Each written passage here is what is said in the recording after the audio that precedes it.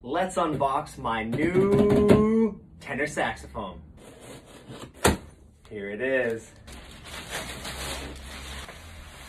Wow.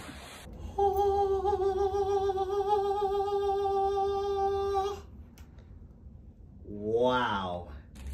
Check that out.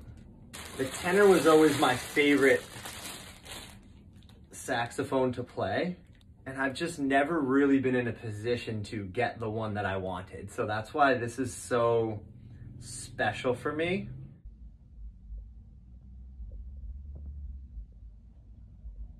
Woo! Here we go.